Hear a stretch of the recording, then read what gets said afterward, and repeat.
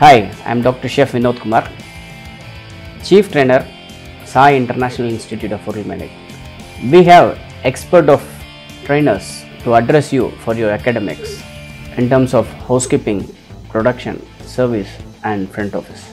You would really enjoy the high-end lab facility what we have as an infrastructure. Also, it is purely practical oriented course.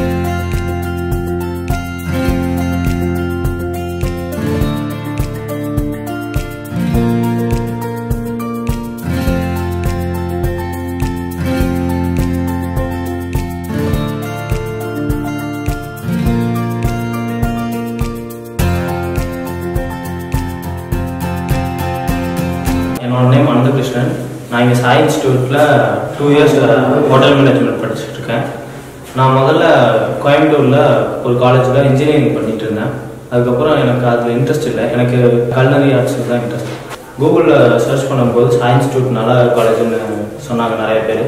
அதனால் நான் வந்து join பண்ணேன். உண்மையாலுமே நல்ல college எனக்கு படிக்கும்போதே பார்ட் டைம் ஜாப் கிடச்சிது. நான் இப்போ படித்து முடிக்க போகிறேன் இந்த year thank you for Sai institute